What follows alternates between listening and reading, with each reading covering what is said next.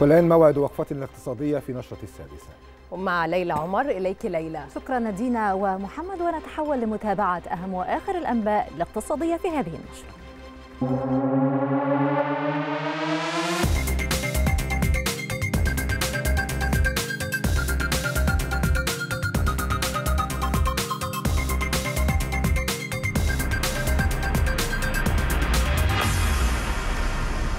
أعلنت الحكومة الاتفاق مع الاتحاد العام للغرف التجارية على تحقيق وفرة في المعروض من السلع والمنتجات مع إتاحتها بأسعار مناسبة دون زيادات غير مبررة على المستهلك خاصة في ظل التيسيرات التي قدمتها الحكومة والبنك المركزي للإفراج عن كميات كبيرة من السلع ومستلزمات الإنتاج بأكثر من خمسة مليارات دولار منذ مطلع الشهر.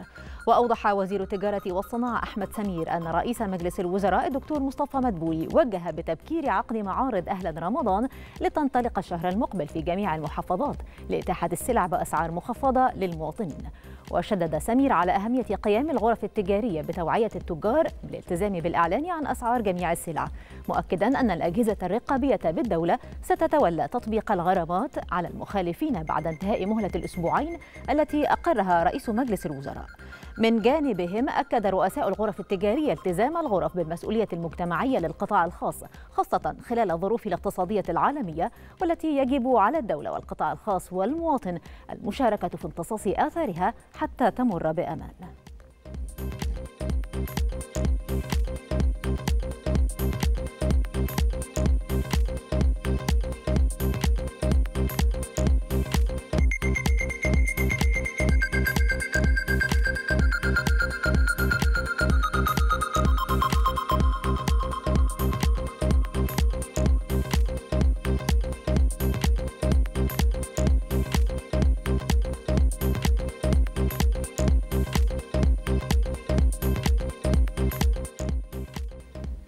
نفى المركز الإعلامي لمجلس الوزراء تداول مبيدات زراعية محظورة تتسبب في تسمم المحاصيل بالأسواق نتيجة غياب الرقابة. وأكد المركز أن جميع مبيدات الآفات الزراعية المتداولة بالأسواق سليمة وآمنة تماما ومطابقة لجميع المواصفات القياسية ولا تشكل أي خطورة على الصحة العامة للمواطنين أو على الإنتاج الزراعي.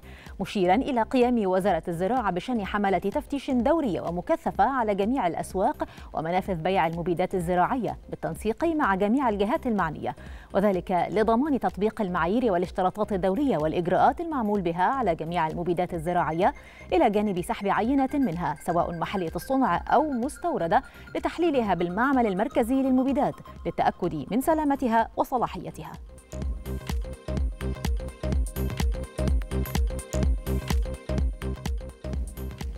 أعلنت وزارة البترول والثروة المعدنية عن طرح مزايدة عالمية جديدة للبحث عن الغاز الطبيعي والزيت الخام في 12 منطقة بالبحر المتوسط ودلتا النيل بواقع ست مناطق بحرية ومثلها برية.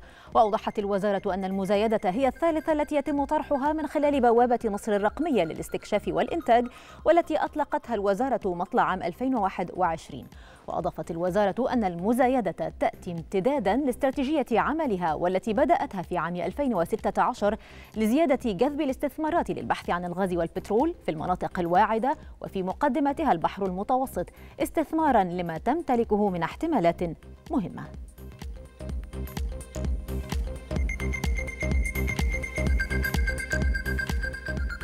قالت وكالة بلومبرج الأمريكية إن مصر ستكون أكبر منتج للهيدروجين الأخضر في أفريقيا ب 20 مليون طن سنويا. وذكرت الدراسة التي نوه إليها مركز المعلومات ودعم اتخاذ القرار بمجلس الوزراء أن الهيدروجين الأخضر سينتج في ثلاثة محاور رئيسية في القارة الأفريقية هي مصر ومحور شمال غرب أفريقيا ومحور أفريقيا الجنوبية. وقالت الدراسة إن مصر ستتصدر إنتاج القارة على أن ينتج محور أفريقيا الجنوبية 17.5 مليون طن في حين سينتج محور غرب أفريقيا 12.5 مليون طن بإجمالي إنتاج يقدر بنحو تريليون يورو سنويا بحلول عام 2035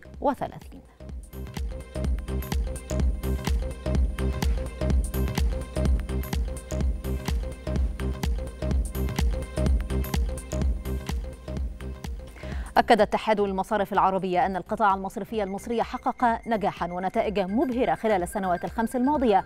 وأضاف أن الاتحاد وأضاف الاتحاد أن بيانات البنك المركزي المصري تشير إلى أن حجم القطاع قد تضاعف خلال السنوات الخمس الماضية بحيث زادت الموجودات المجمعة للقطاع المصرفي المصري من مليار جنيه إلى عفوا من 4.587 مليار جنيه إلى 10.511 مليار محققة نسبة نمو 130% خلال الفترة المذكورة وهو ما لم يحققه أي من القطاعات المصرفية العربية الأخرى.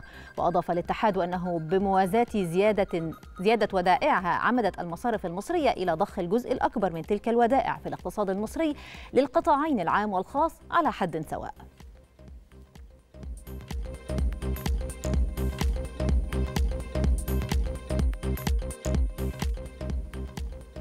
في أسواق البترول العالمية سجل النفط أعلى مستوياته في ثلاثة أسابيع بعدما حفز أحدث تخفيف لقيود كورونا في الصين الآمال في تعافي الطلب على الوقود بفضل دعم إضافي من خفض إنتاج الطاقة بالولايات المتحدة بسبب العواصف الشتوية. وارتفع خام برنت بنسبة 12 من المئة بالمئة ليصل إلى 84.2 من المئة دولار للبرميل. كما زاد خام غرب تكساس الوسيط بنسبة 23 من المئة في المئة مسجلا 79.74 دولار للبرميل.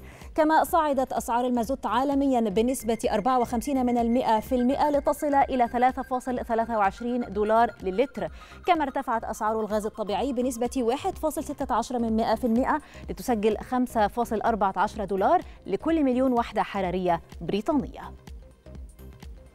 تفوقت البورصة السعودية على نظرائها بمنطقة الخليج بعدما أعلنت الصين مزيدا من تخفيف القيود المرتبطة بكورونا مما عزز التوقعات بتعافي الطلب في ثاني أكبر اقتصاد بالعالم. وارتفع المؤشر السعودي 1.3% كما زاد المؤشر الرئيسي لبورصة دبي 6.6% كما صعد المؤشر العام لبورصة البحرين بنسبة 1.1% ليربح 18.83 نقطة. كما ارتفع المؤشر الرئيسي لبورصة الكويت بنسبة 72 من المئة في المئة. في المقابل انخفض المؤشر القطري 2 من عشرة بالمئة مواصلا خسائره للجلسة الثالثة على التوالي.